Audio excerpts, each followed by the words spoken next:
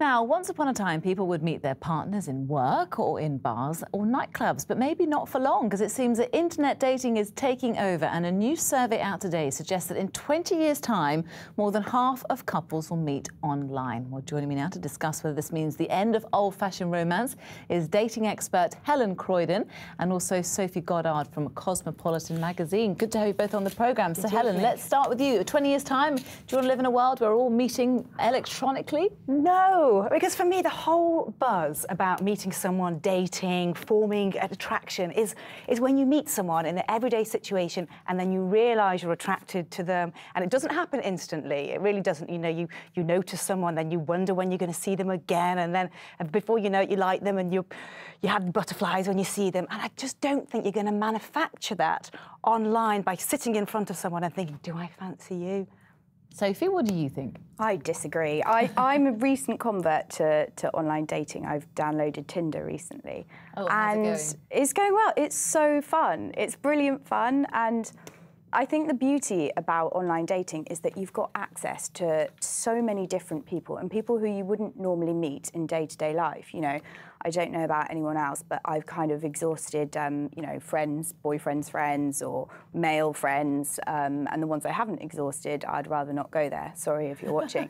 um, but it, yeah, it's great. You know, if you're into sport or if you're into, I don't know, whatever it is that you're into, there's a website for it. You know? But you're just meeting people. I don't think mm. you're going to be able to get that frisson that you get mm. when you, you just after meet someone. We've had loads of messages on this. Um, Helen, have a look at a couple of these. Uh, Richard Griffith says via Facebook, I met my girlfriend through someone I know, but I first interacted with her online. I'm so happy that I met her. Thanks, internet. And Arthur says, I met and married wife number three via the internet. The best thing I've ever done.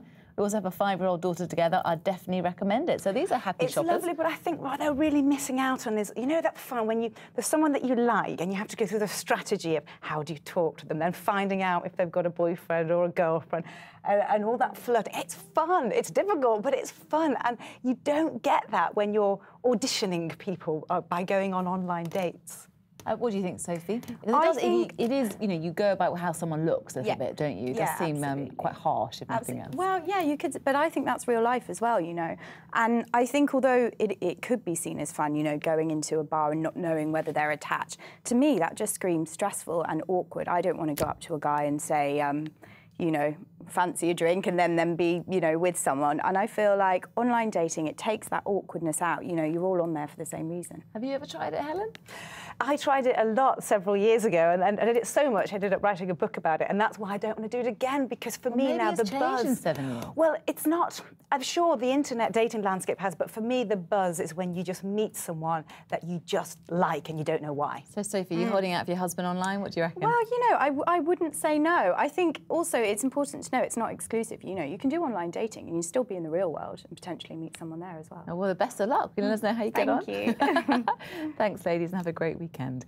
That's it from us. Charles got the weekend weather next. Have a great weekend. We'll see you at 5 on Monday. Bye for now.